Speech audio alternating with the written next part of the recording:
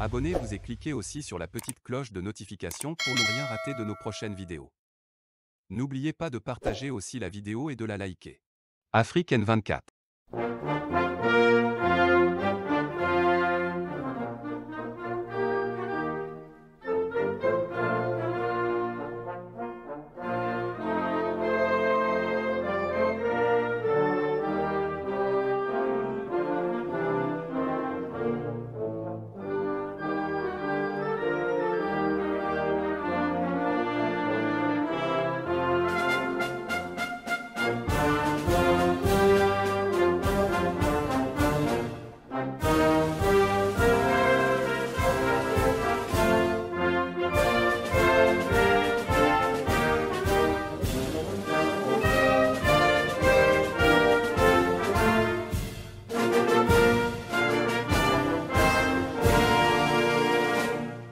Mes chers compatriotes, chers patriotes des forces de défense et de sécurité, togolaises et togolais, notre pays, le Togo, est meurtri plusieurs jours de suite dans la région des savanes. Entre attaques terroristes et bavures militaires, nous déplorons plusieurs morts civils et militaires, et l'exode désespéré de nos concitoyens vers des cieux jugés plus sécurisés, en ce moment de vie chère sans précédent et de graves précarités dans notre pays, ruiné à tous les niveaux par des pouvoirs publics illégitimes, prédateurs et impuissants. Je m'incline devant la mémoire des disparus et de la nation tout entière tétanisée et souhaite un prompt rétablissement aux blessés avec toute ma compassion et celle du gouvernement légitime du Togo et du patriarche de la nation, son Excellence, Monseigneur Fanako, Philippe Pojoro, aux familles éplorées et déchirées, de même qu'à toutes les filles qu'à tous les filles du Togo tout entier, traumatisées par cette horde de violence sans précédent à laquelle est confrontée notre conscience collective nationale. Pour mieux cerner la région de cette industrie de la mort qui supprime avec autant de facilité la vie de nos concitoyens avec une brutalité inouïe, il faut s'interroger sur les causes réelles de ce carnage pour mieux le combattre. C'est pourquoi je souscris pleinement et entièrement à l'idée d'une enquête internationale indépendante ici et maintenant qu'il faut implémenter le plus rapidement possible car il y a péril en la demeure.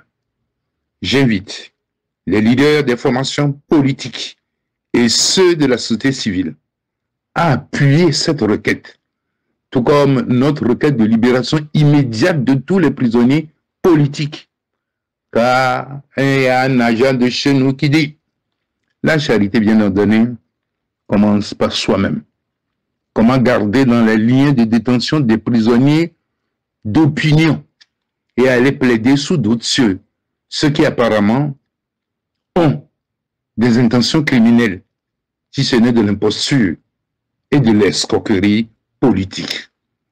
Je voudrais remercier de tout cœur nos forces de défense et de sécurité qui sont aux avant-postes de cette bataille de la défense de l'intégrité territoriale pour préserver la paix déjà fragile dans notre pays en raison de la grave crise de légitimité et de confiance, des injustices et des frustrations engendrées par certains qui n'acceptent la souveraineté du peuple, l'autorité de la loi, la vérité, la justice, et rassurer nos forces de défense et de sécurité du soutien de la nation tout entière, et à les inviter à demeurer combatives et déterminées à tous égards. Nul n'est au-dessus des lois, et nul ne peut être traité en dessous des lois. Conscient que le Togo dispose au sein des forces de défense et de sécurité de braves hommes et femmes courageux pour faire face à ceux qui méprisent la sacralité de la vie des Togolais, j'en appelle à une adhésion de toutes les composantes de la nation à cette lutte patriotique de défense du territoire national, car la menace terroriste est réelle. Et nous ne devons pas sous-estimer la détermination de ces assassins leur volonté de s'attaquer durablement à notre pays. Dans ce combat, ne doit compter que seul le Togo et l'intérêt supérieur de la nation tout entière au regard de notre déchirement collectif actuel.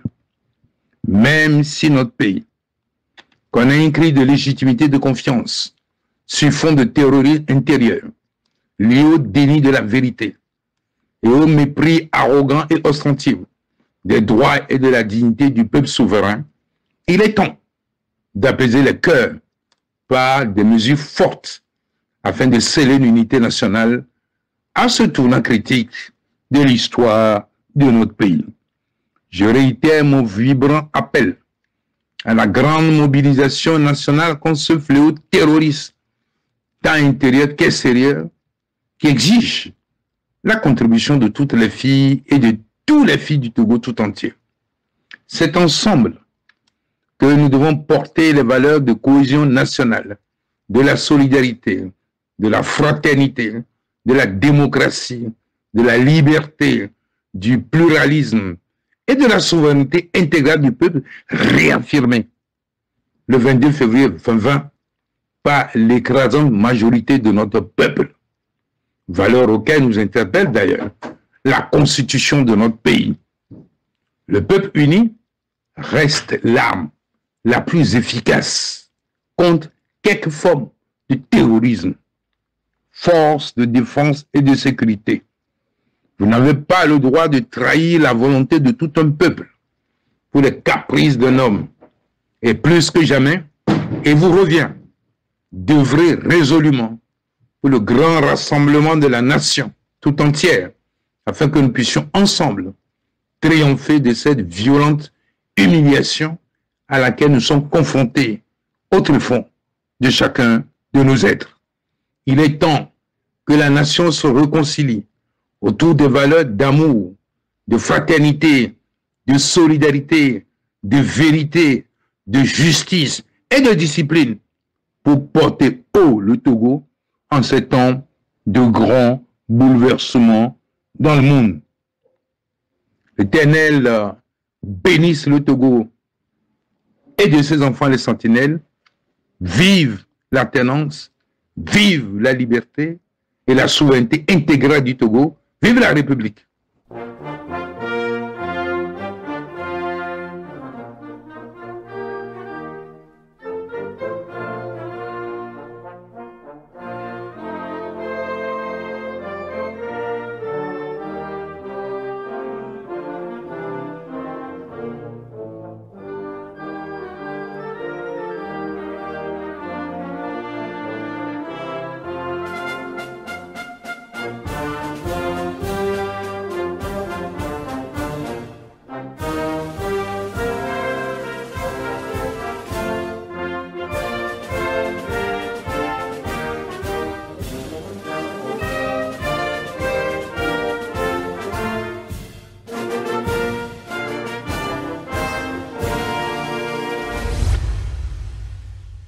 Likez la vidéo si ce n'est pas déjà fait. Laissez aussi votre point de vue en commentaire.